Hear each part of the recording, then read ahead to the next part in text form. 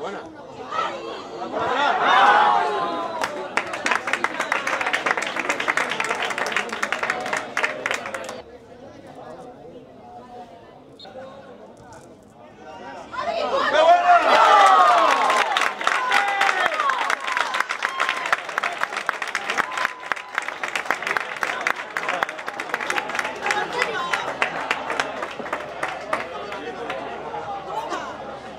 no fallen más.